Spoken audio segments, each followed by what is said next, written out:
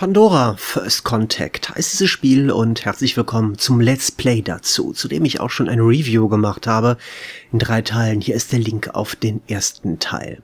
Das, was ich dort erzählt und erklärt hatte im Review, also ein Überblick über die wichtigsten Spielfeatures und auch ein Kommentar zur technischen Qualität des Spiels, das alles werde ich hier nur sehr, sehr eingeschränkt in dieses Let's Play machen. Man kann es ja mit der Doppelberichterstattung auch übertreiben.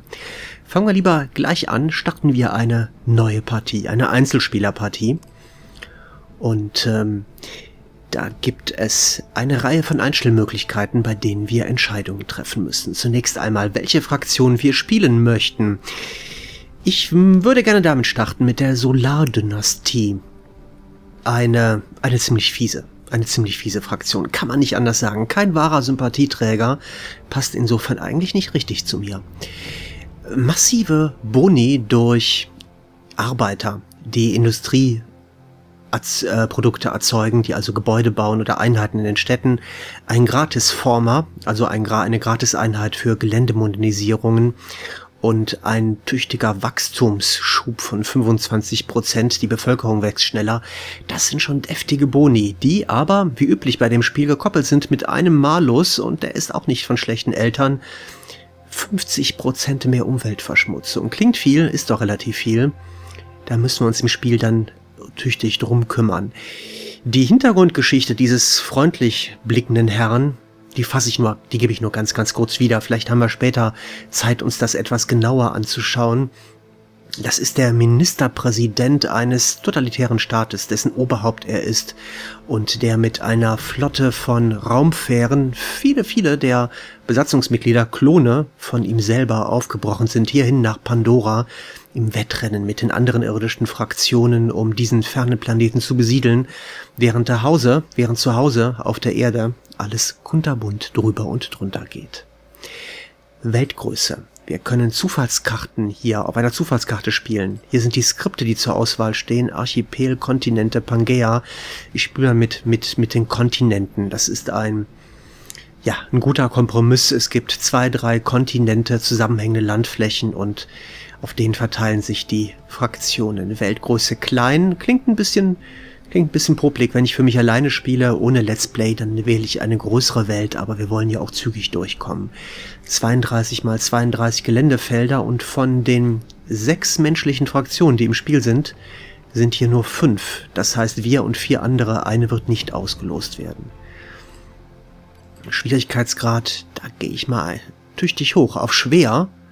Der mittlere Schwierigkeitsgrad wäre leicht, da ist alles fein ausbalanciert, 50-50 aber bei schwer, da genießt der Computergegner die KI-Fraktionen ordentliche Moralvorteile. Was das ist, schauen wir uns im Spiel an. Den allerhöchsten Grad wähle ich mal nicht.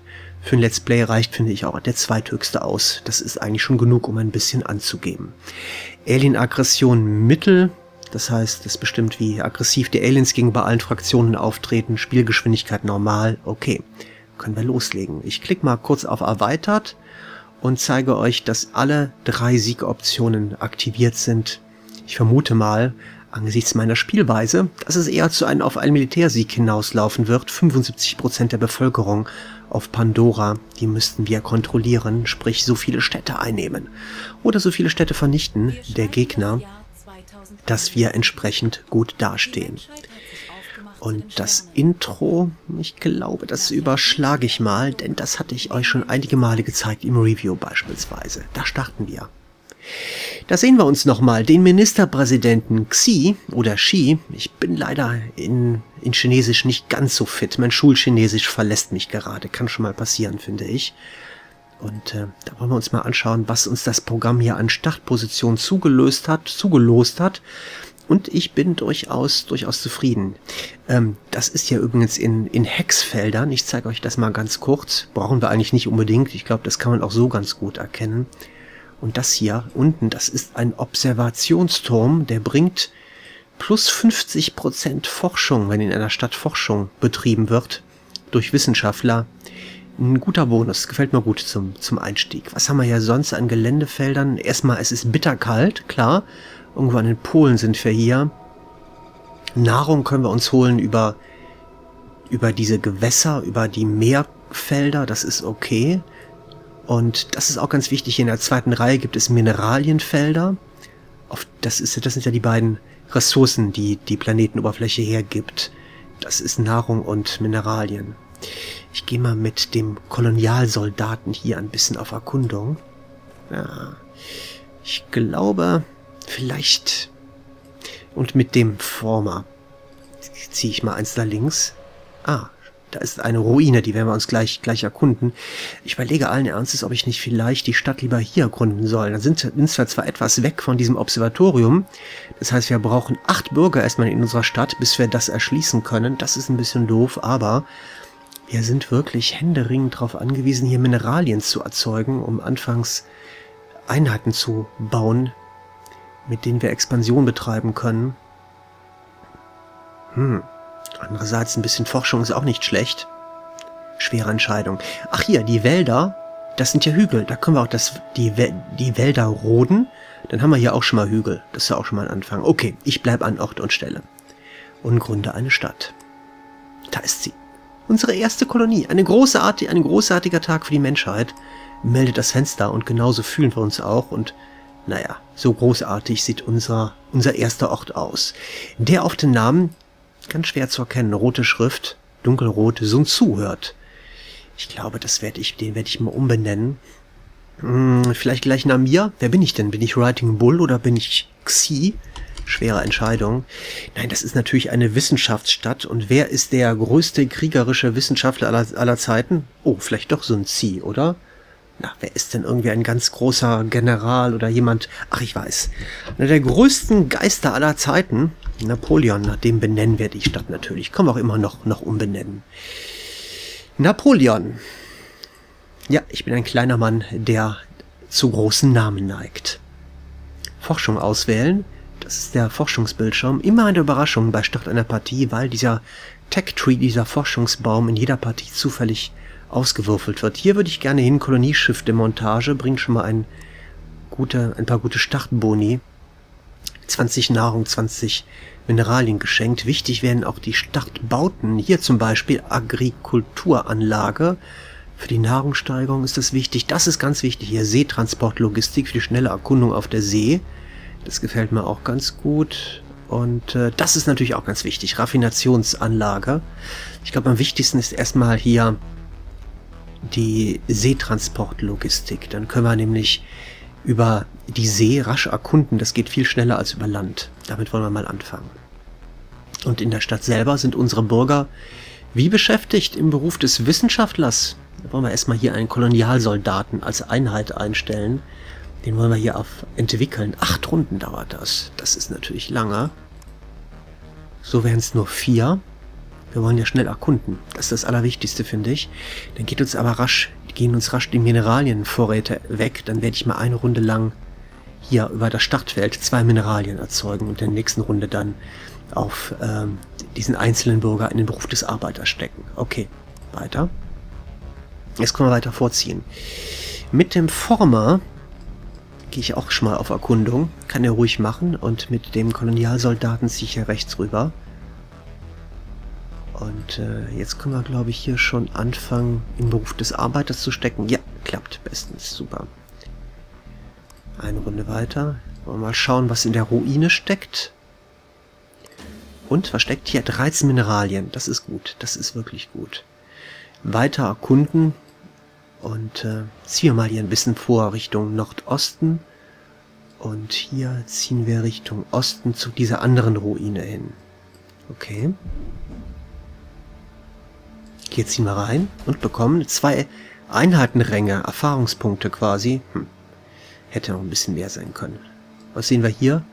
Den ersten Alienbau. Schaut mal hier. Das sind diese einheimischen Lebensformen. Sind anfangs nicht aggressiv, sind auch relativ kampfschwach, wie ihr seht.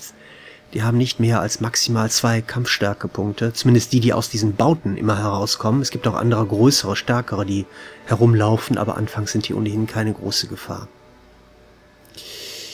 So, und mit dem Former, tja, wohin ziehen wir mit dem? Hier, hier seht ihr auch noch andere Aliens. Das hier. Die sind auch nicht so stark. Skites. Ziehen wir mal hier ein bisschen entlang. Okay. Weiter. Ja, über Wald sind wir relativ langsam unterwegs. Das ist nicht so toll. Aber ich mach's mal trotzdem. Oh, das war jetzt nicht so clever. Da ist unser erster Kolonialsoldat, den wir selbst erschaffen haben. Und ähm, jetzt gehe ich auch mal mit dem los Richtung Erkundung.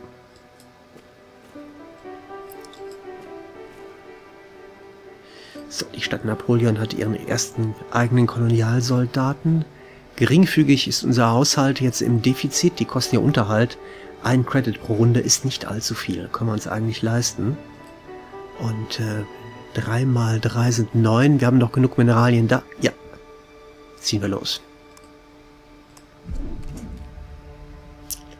Okay, ziehen wir auch mit dem los hier. Mit dem hier Richtung Süden, na, das macht nicht viel Sinn. Das ist ja alles äußerst mau. Das ist einer von diesen Riesen, von denen ich erzählt habe, dieser überstarken Alien-Einheiten, ein Galet. Goliath hätte er auch heißen können. Acht Kampfstärkepunkte, ganz schön viel. Aber ziehen wir hier mal weiter. Ah, da ist die nächste Ruine, die wir gleich erforschen können. Ja, Übers Gebirge ziehe ich nicht. Ein Gebirge kostet gleich zwei Bewegungspunkte. Und mit dem hier ich dann mal hier Richtung Norden. Und ich glaube, den Former, den werde ich jetzt doch mal hier zurück bewegen. Oder? Nee, noch nicht. Doch gehe ich mal ein bisschen mit dem, mit dem auf Tour. Tja, wohin?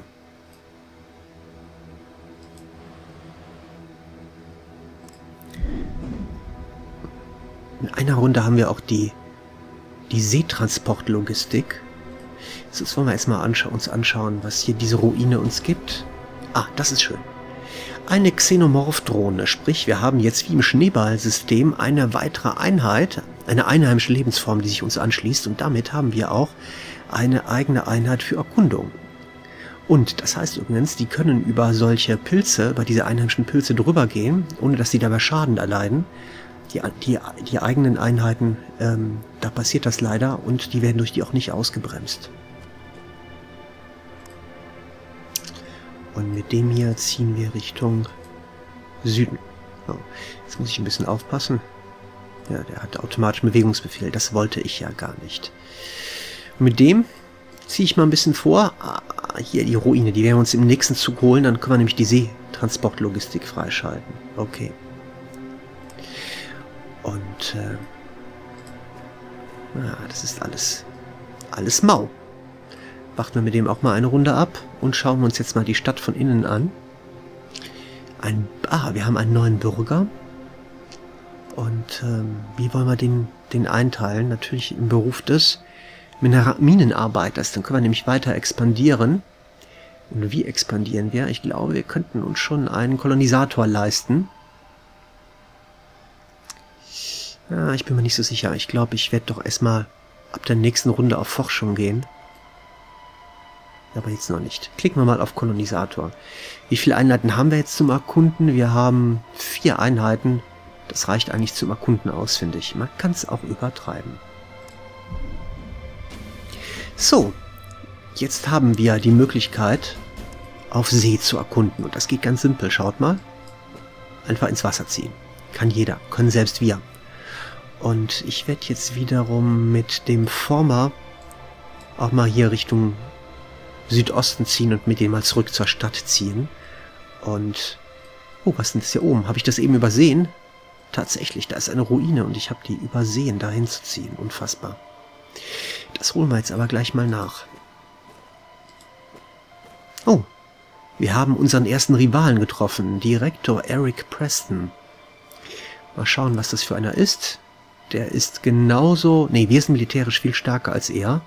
Ja, kein Wunder, wir haben so viele Starteinheiten gebaut. Was aber nicht heißt, dass wir ihn rushen könnten. Glaube ich nicht. Nach meiner Erfahrung ist das äh, ausges ausgesprochen schwierig. Erzeugen viel mehr Forschungspunkte. Aha, toll, super. Naja. Hm, was stellen wir mit ihm an? Wir haben etwa eine gleich starke Wirtschaft, dann mache ich mal mit ihm erstmal einen Nicht-Angriffspakt. Ja, denn wir haben ja unsere Stadt unbewacht, kann nicht schaden. Offene Grenzen machen wir auch. Und jetzt bieten wir ihm noch das Teilen von Karten an. Aha, jetzt wissen wir etwas mehr über die Welt. Und jetzt bieten wir ihm noch an... Na, wo haben wir es denn? Ach, ich wollte ein Wirtschaftsabkommen mit ihm noch machen. Ist das denn gar nicht möglich? Oder habe ich das übersehen? Ganz oben, hier, ein Handelsabkommen. Macht er ebenfalls. Schließen wir. Und ja, lohnt sich fast noch nicht, aber verstärkt die guten Beziehungen zu ihm. Wir wollen ja den Zeitpunkt des Krieges gegen diesen Rivalen selbst bestimmen. Wir wollen nicht überrumpelt werden dadurch, dass er uns angreift. Darum wollen wir uns schon selber kümmern. Okay, Forschung auswählen. Was kommt als nächstes? Ich glaube, ich gehe mal hier auf die Raffination. Mhm, das mache ich. Dann können wir nämlich hier die Mineralien, das Mineraliengebäude äh, bauen. Okay.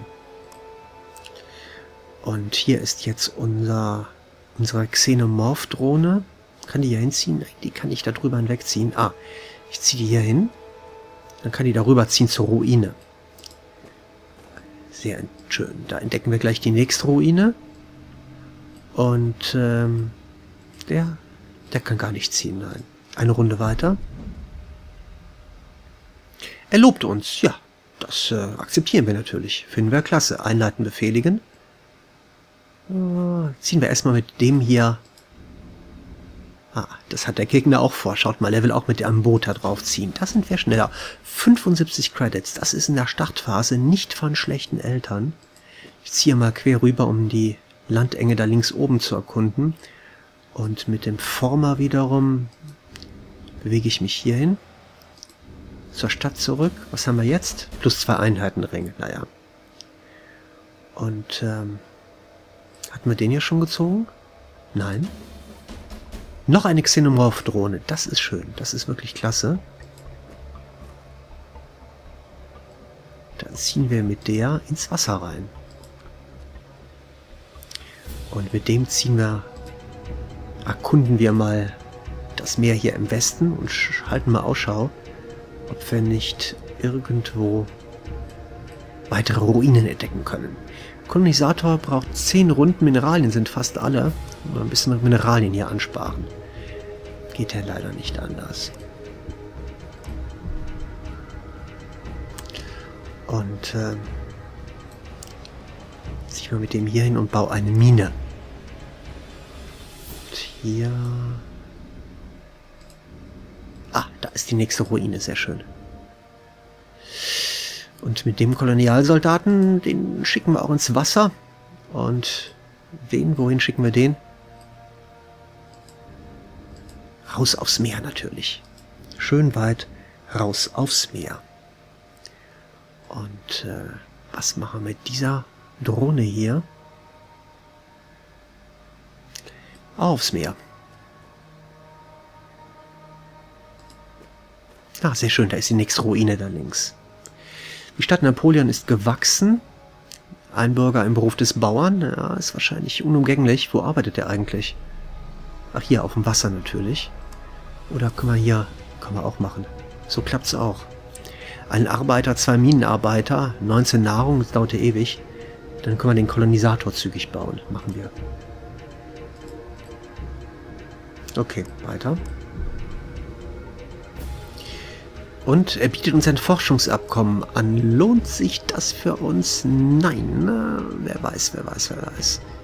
Ich mach's mal. Den Gegner, mal den unmittelbaren Rivalen stärken. Ich weiß es nicht. Bringt auch anfangs gar nicht so viel.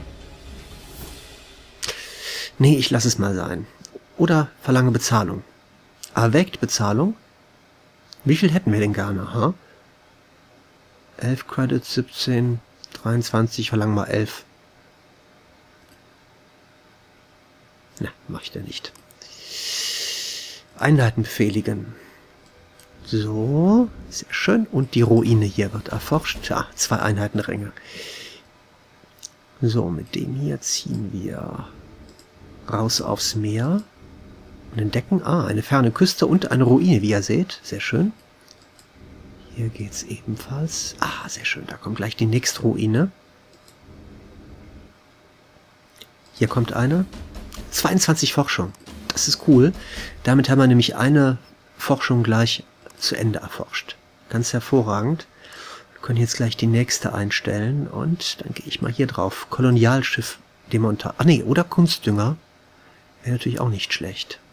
Ähm, vor allem aber suche ich... Was haben wir denn sonst noch hier? Ich suche die Technologie, mit der man ein Forschungsgebäude bauen kann. Autsch, nirgendwo weit und breit. Damals Pech gehabt. Kann ich nicht entdecken. Hier ein weiterer Gratis-Kolonisator. Gibt's über Kolonisierungsalpha. Das ist jetzt war blöd. Weit und breit. Oder habe ich die übersehen? Weit und breit nicht. Das ist jetzt blöd. Damals richtig, richtig Pech. Da müssen wir, wie gut, dass wir diesen Observations, Observationsturm haben. Den müssen wir dann wirklich gut nutzen. Mhm. Dann gehe ich mal hier auf die Kolonialschiffe-Montage. Okay.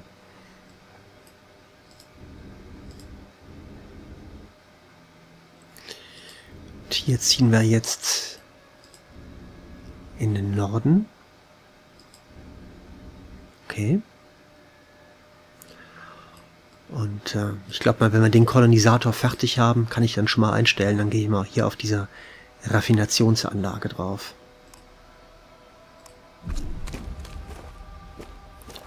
Sehr schön. Eins, zwei, ein bisschen gucken, drei. 68 Credits, fein, fein, fein. Eins, zwei. 16 Nahrung, naja. Oh, der schickt auch seine ganzen Einheiten jetzt ins Wasser. Zwei Kolonialsoldaten. Oh, er sieht wirklich, wie relativ klein die Karte ist. Schaut mal, jetzt stoßen wir schon hier auf den anderen Kontinent, den wir gerade von Norden entdeckt haben. Auf den entdecken wir jetzt von Süden. Hm. Eins. Schicke ich auch mal ins Wasser.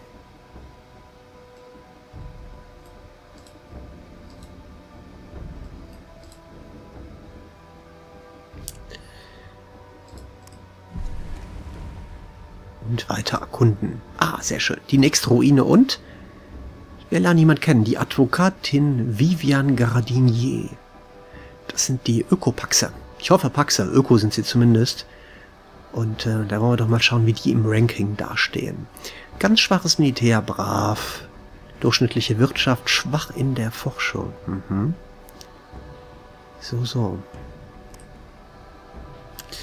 Tja, nicht angespackt. Ja. Das wollen die natürlich alle. Kein Wunder, wir sind ja derzeit noch militärisch weit überlegen. Noch, weil wir ja eigentlich gar keinen weiteren Einheiten bauen im Augenblick. Offene Grenzen bieten wir an. Und äh, das Teilen von Karten. Okay. Und ein Handelsabkommen. Müsste ganz oben wieder stehen. Ja. Okay, alles abgemacht. Uns mal anschauen, wie hier die... Ach, hier die Gegend aussieht. Na, viel erkundet haben die ja wirklich noch nicht. Schwach, schwach, schwach, schwach, schwach. Eine Stadt, so viel wie wir. Ah. Ach, ich glaube, ich werde jetzt doch mit dem hier mal ein Forschungsabkommen abschließen. Mit unserem Nachbarn. Und bringt uns das was? Nein. Aber vielleicht in Zukunft, das wächst ja dann an. Nochmal 63 Credits durch diese Ruine und durch diese hier. 20 Mineralien. Und mit dem hier ziehe ich jetzt hier ebenfalls mal weit raus ins Meer. Mal gucken, was es da zu entdecken gibt. Und mit den Drohnen hm, gehe ich gleich auch wieder aufs Meer. Hierhin und hierhin. Und mit der Einheit hier bin ich ebenfalls fest der Meinung, dass es auf dem Seeweg einfach schneller vorangeht. Und, ähm, ah, nein, das ist nur ein Observationsturm. Ich dachte schon, da wäre eine Ruine. Ach, da ist aber auch eine Ruine. Wollen wir es im nächsten Zug. Der Former hat jetzt hier eine Mine gebaut, sehr schön. Viel mehr kann der im Augenblick gar nicht machen. Ich könnte allerdings schon mal anfangen, das Umland zu kultivieren. Dauert nur 21 Runden. Dann werden wir die Bevölkerungszahl 8 haben bis die Gebirge hier freigeschaltet sind, aber immerhin lohnt sich dennoch, denke ich mal. Also ziehen wir mit dem mal hier hin und mit dem Kolonialsoldaten in seinem schicken Transporter ziehen wir noch ein bisschen hier die Meerengen entlang und hier und da und dort. Und, äh, hm. Auch hier ziehe ich erstmal die Küstenlinien entlang. Ach, ich bin schon neugierig. Ich hätte gerne gewusst, wie die Küstenlinie hier komplett aussieht.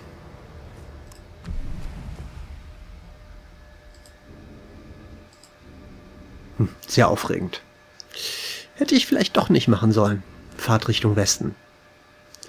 Mit dem hier fange ich mal an, eine Straße zu bauen, weil ich denke mir, mit der, mit dem nächsten Kolonieschiff, pardon, mit dem nächsten Kolonisator, den wir haben werden, da werden wir natürlich irgendwo im Norden eine zweite Stadt gründen. Und auch hier ziehen wir jetzt... Ah, sehr schön, da ist eine Ruine. Und was bekommen wir? Na, zwei Einheitenränge. Und wir lernen noch jemand kennen. Ah, die ist schnell grimmig. Mit der hat man, mit der hat man schnell Krieg. Lady Lilith Vermillion. Eine ganz skurrile Hintergrundgeschichte, habe ich mir mal im Handbuch durchgelesen, erzähle ich euch vielleicht gelegentlich mal. Schauen wir uns mal an. Also es sind halt religiöse Fanatiker. Und zugleich Leute, die voll in den sozialen Netzwerken verankert sind. Die hat sich quasi ihre Privatreligion zusammengestrickt aus all dem, was angeboten wird an Kunstreligionen in dieser Welt und hat die halt mit sozialen Netzwerken publik gemacht und äh, glaubt mittlerweile an ihre eigene Göttlichkeit. Diplomatie. Ähm, militärisch auch eher schwach, Wirtschaft. Hier können wir das Standardprogramm machen. Okay, wollen wir mal das Standardprogramm machen. Nicht Angriffspakt. Ja. Handelsabkommen. Ja. Teilen von Karten. Ja. Na, hat fast nichts gebracht. Und äh, ah, Forschungsabkommen nehmen wir mit. Möchte sie nicht. Das ist ja interessant. Aha. Na, dann halt nicht. Bitte sehr. Unsere Hauptstadt Napoleon ist gewachsen. Das ist auch deshalb ganz gut, weil nach, wenn der Kolonisator fertig ist, dann werden wir einen Bürger abgezogen bekommen. In vier Runden haben wir den nächsten Bürger, in fünf Runden ist der Kolonisator da. Na, wenn das nicht ein gutes Timing ist. Das ist doch fast schon ein optimales Timing, behaupte ich einmal, oder? Wie seht ihr das? Ich denke schon. Das war die erste Folge. Geht ganz schön zügig. Bin gespannt, was die zweite Folge bringt und ob ihr dann auch dabei sein werdet. Ich will schwer hoffen, denn ganz alleine einen fremden Planeten kolonisieren und regieren macht nicht ganz so viel Spaß, wie wenn man ein paar nette Leute an seiner Seite hat. Bis dann, macht's gut, tschüss.